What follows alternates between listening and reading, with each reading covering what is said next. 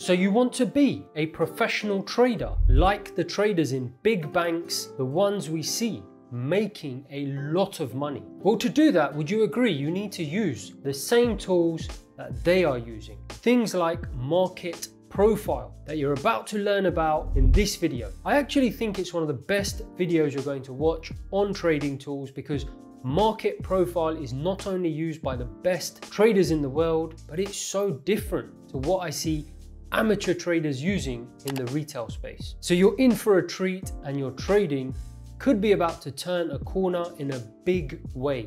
So stick around to the end. Now, before we get into it in just a minute, as always, I wanna make one very quick important point based on my decade plus experience working in some of the top institutions in the world. Now, my advice before we begin is stop looking for single videos that will teach you a method that promises to make you profitable very quickly in just one video. You know those videos that say, my five minute strategy that can change your trading. And it's just one video showing you some method that will apparently turn your trading around. I know it's tempting because hey, who wouldn't want to make easy money? I do, but you're completely dreaming if you think one video showing you one strategy is going to turn you into the next trading messiah. Not going to happen. What is, however, going to change the trajectory of your trading ambitions dramatically is replicating what the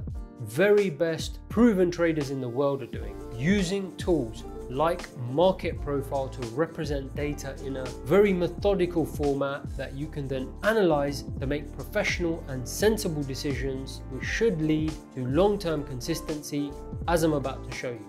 Let's go. Okay everyone, so in front of you, you have the market profile. Now forgive me, I will repeat a few things that I said at the intro of this video, but all of it is important and uh, we've got lots to learn in a very short space of time.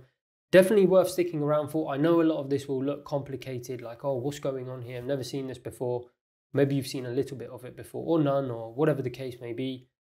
Definitely worth your time. As you can see, completely different to what you might be used to seeing, and actually, it's going to make your life simpler. All right, so ask yourself are you serious about trading? Are you serious about being profitable or becoming consistent?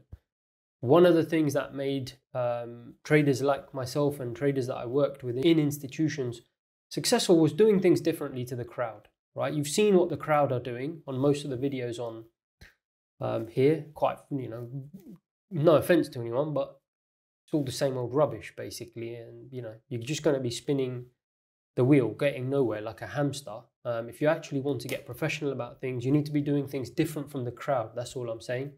And as you can see, this is very different to the crowd, but this is what's actually being used by pretty much every institution, speculative institution that I've worked in. We'll be looking at market profile, volume profile. And the ironic thing is, it's actually very simple to understand. Like I said at the start, impossible to learn the whole of professional trading in one video, but I just want to whet your appetite and show you that if you put your mind to the right things, um, you can go very, very far in this business. Even if you've never traded before, you're new to it, or you've done all the, what I like to say, the retail junk before, start looking at professional stuff. Let's do it together. I will show you just very briefly that, you know, in previous videos, I talk a lot about order flow tools and I have used them in the trade that I'm going to highlight to you today. Um, I've used the order flow tools that I've mentioned before in previous videos. So normally you're used to seeing a lot of numbers moving around and you can see the market moving here. And the trade, I did obviously take it, you can see it here on the footprint, but I'm not going to discuss this in this video because I want to show you something slightly different, um, which I think is going to be very beneficial to your trading if you start learning it in more detail. But you need to start somewhere, okay? So that's what we're going to do. So you can see that there. This is the actual trade I took, um, which you can see here on the footprint and I'll just quickly show you just for credibility's sake because I think it is important let me just show you this month. So January 1st of January 23 um, been an exceptional month but it's this trade here on the 23rd 1587.50 obviously you're used to seeing um, that type of stuff when I show all the order flow and so on and I'm not going to be showing that. So I just wanted to show you my blotter that it is this trade here and we're going to cover that in the market profile and very briefly. So stick around because this is really going to be um, hugely beneficial towards your trading because it's actually going to make your life simpler. All right. So first thing to understand, market profile, very simple. Okay. These are days. Okay. So it's actually uh, Monday, Tuesday, Wednesday, okay, and so on. Okay. Uh, this is Thursday, which happens to be today where I haven't traded, but um, anyway, it's this is the week.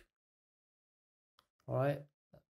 Forgive my handwriting, very terrible. This is the week. Okay. So really how are you going to get a representation of Monday, Tuesday, Wednesday, Thursday? That simply on one chart, you're not. It's going to be a mess where you're looking at in more of a graphical format in terms of a lot of um, not even indicators, which obviously I'm very anti, but just in terms of price, we're seeing a lot of price over days and days and days. It's going to be very complex for you. You need to start to break it down. And it's not just me telling you this this is what institutions are doing. When I was working in institutions, is what I was taught to do. And I think it's what's contributed to allowing me to have the sort of consistency that you just saw there, right? So you saw it here, very consistent month. Obviously, not always this consistent, but um, this is what's contributed to that.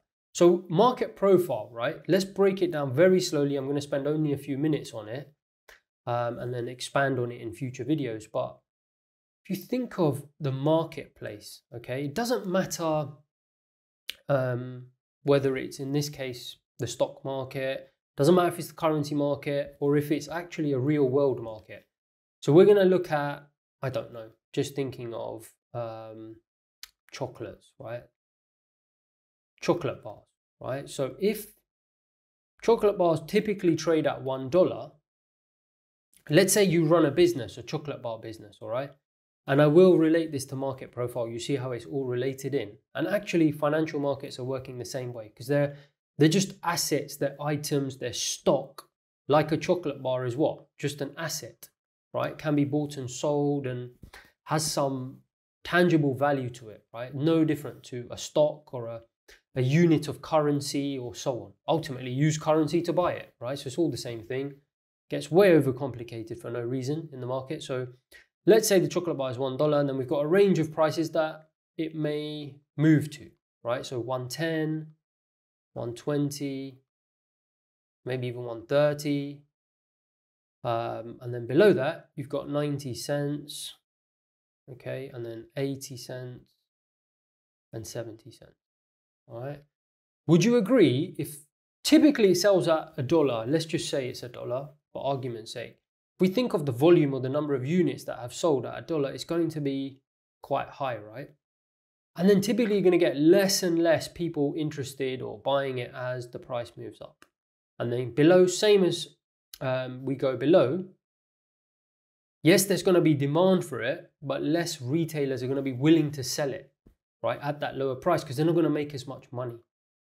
So typically what you'll get is you'll get like a, a profile like this, okay, where um, you know, if it's too cheap, let's say the market's uh, or the market, chocolate bar market, or stock market, or whatever it is, starts here.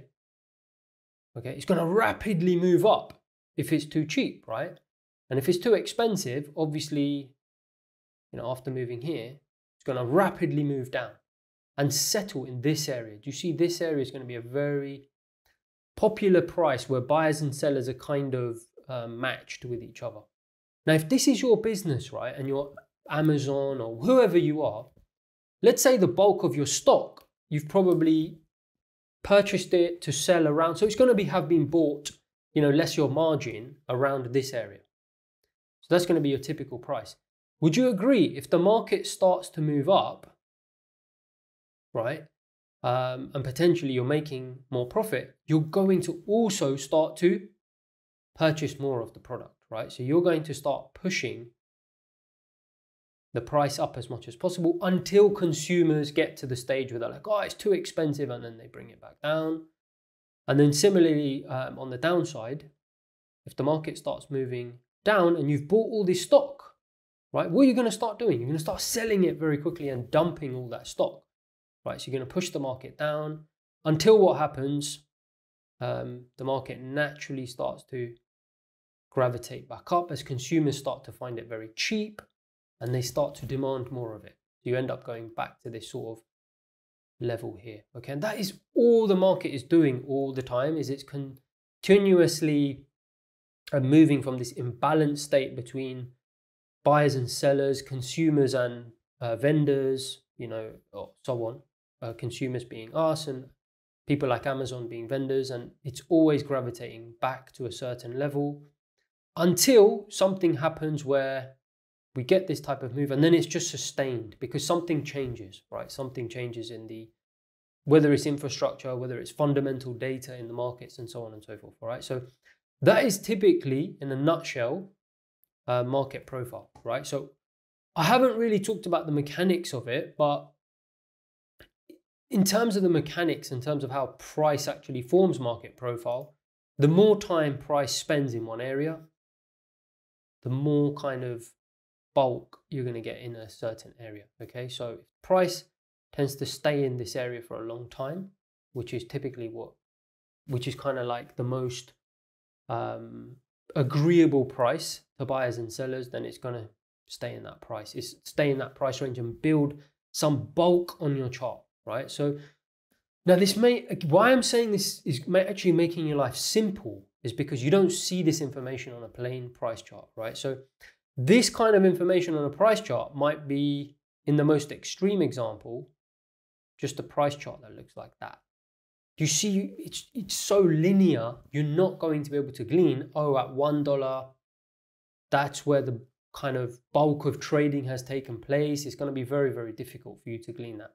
Now, the reality is, you will get, obviously, if there's hardly any tra uh, trading taking place in one area, the market's going to move very quickly. There's a lot of trading taking place in a particular area, you are going to get the market stick around that area for quite a while, and that's why the market profile will start to build. Volume profile is highly accurate, but I just find market profile a little bit more flexible in the sense that I can actually break it up. Okay, so I'll show you what I mean. You see, I can split it apart, which is a little bit more advanced, but it means I can split it up. I just find it a little bit easier to using that versus actual volume profile. But anyway, so if the market is sticking around for a little while, the problem is, might do that in other regions. But do you see, it's very hard to tell kind of visually, okay, where was the market? Where are we likely to see a lot of demand if we break out of a certain area? Is it is it this bulk? Am I waiting for this area? before I break out? Do I deem that to be really a breakout of where the market has settled? You see this is it's very, very difficult using a price graph, and then that's just one day. Imagine trying to figure this out over, you know, as I said, Monday, Tuesday, Wednesday, Thursday.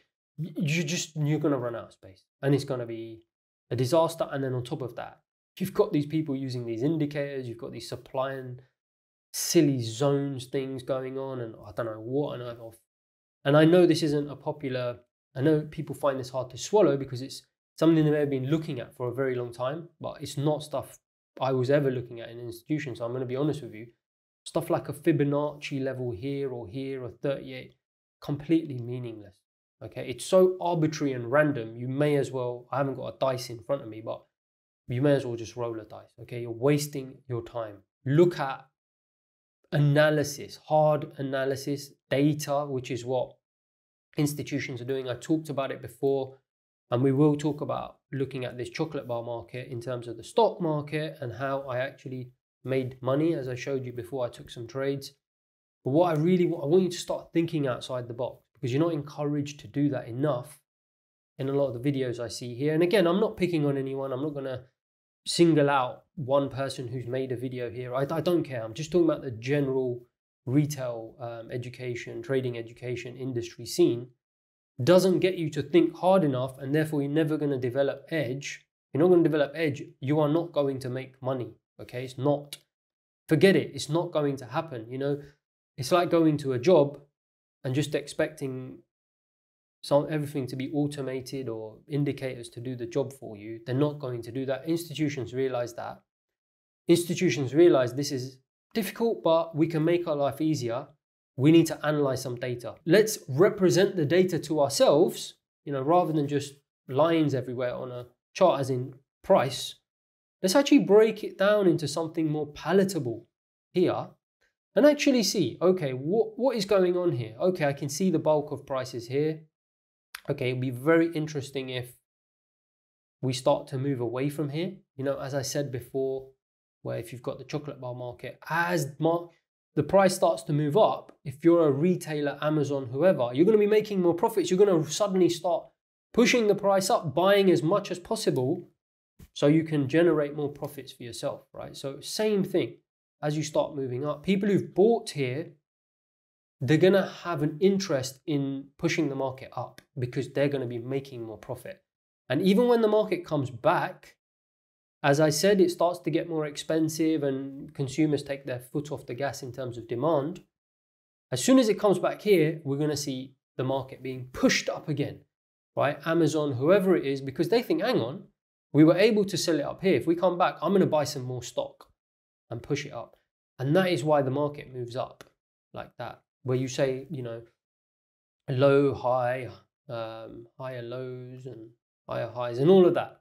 That's actually what is happening. It's the mechanism, okay? It's not a trend line or any of this rubbish that I see people using or some fib here or that's got nothing to do with why the market moves up.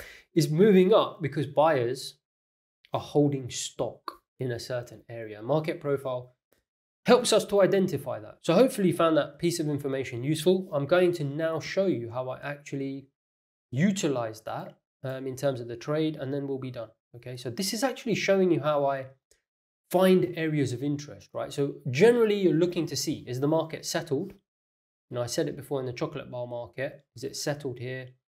Um, I think it was $1, wasn't it? And are we continuing to trade here and buyers are just kind of there and sellers are just kind of there as in you know, uh, vendors and retailers, as in consumers, are there happy, or is the market having some sort of shift? Is it having some sort of shift? Okay, so here you can see on Tuesday and Wednesday, and even to some extent today, we've seen the market kind of just happy in this area. So if price goes up, you're obviously going to want to bring it back. If price goes down, you're obviously want to going to want to bring it back. If price goes up, you want to bring it back. Now, the day that I actually traded, I'm going to show you, was this, this day here, Monday, right? And at the open, it wasn't like that. Can you see it was actually this scenario where you've got, say you've got the chocolate bar market at $1, suddenly demand starts to rise out of this area where every vendor's been used to selling chocolates right? They start to rise. And what happens then? They're making more profits. They're going to start pushing the market up, right? Vendors are going to start pushing the market up. And obviously, demand is coming in at the same time.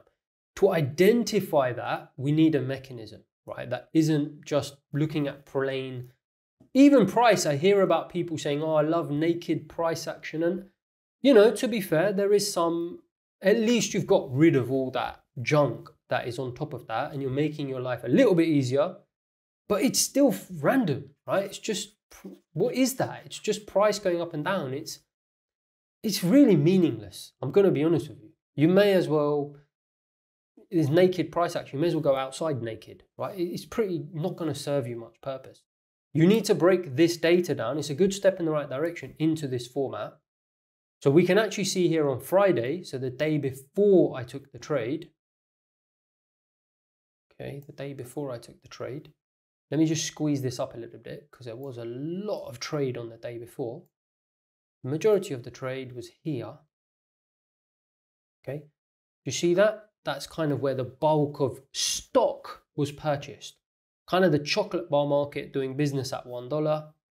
And then we just came out of that area the next day on the Monday. Okay, so that's where it opened. This A period is called an A period. Basically, a, B, C, D being the first, the first letter. So the first half an hour, basically, we opened there.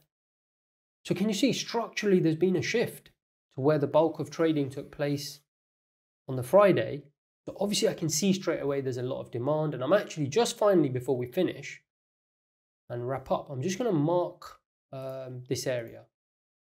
Okay, it's called a value area. I'm not going to get into that today. It's basically the edge of where the bulk of business was done.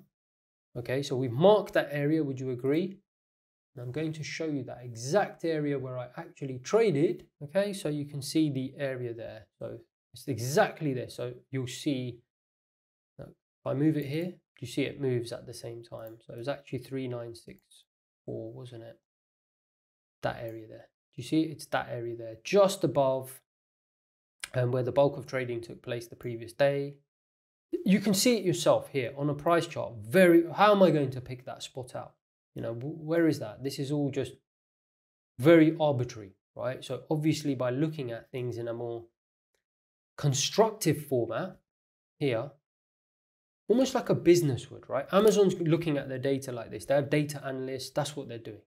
We're not just looking at every single price randomly, which is what a price chart is of where they've sold goods and services. They're looking at concentrations and then seeing, okay, what's demand doing relative to where we have done a lot of our business, right? Where stock is being held. Are we making money? Are we losing money? Do we need to take action, inaction, and so on? Okay, so here, markets moved up are great. We need to take action, right? We need to buy some more so we can make more money because there's a lot of demand here, right? And I've recognized that here in exactly the same way, right? So I can see that relative to this area where that demand was, that we're actually moving out of it and therefore I'm also going to be buying using things like order flow, uh, which you can see here. Okay, so obviously this is more micro execution. So it's kind of a three pronged process, right? It's understanding your market, doing the research, what's actually going on in the marketplace, and then executing on it. All right, so something to think about completely, completely different to what I see in the marketplace and really, that is honestly what you probably won't be surprised to see the level of consistency. Thinking about the market in that way can bring. So please, please, please, whatever you do, whether you do this or something else, do things differently to the crowd because that's the only way you're going to be successful in this business. So hopefully you found that useful. The best way to continue learning about institutional tools is to continue watching more videos on order flow such as this See you next time.